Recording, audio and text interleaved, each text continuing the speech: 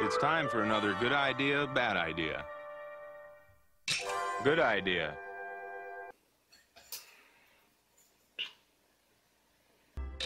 Bad idea. All right, well, maybe the proof is in the noodles. Let's give the noodles a taste and let's see what those taste like.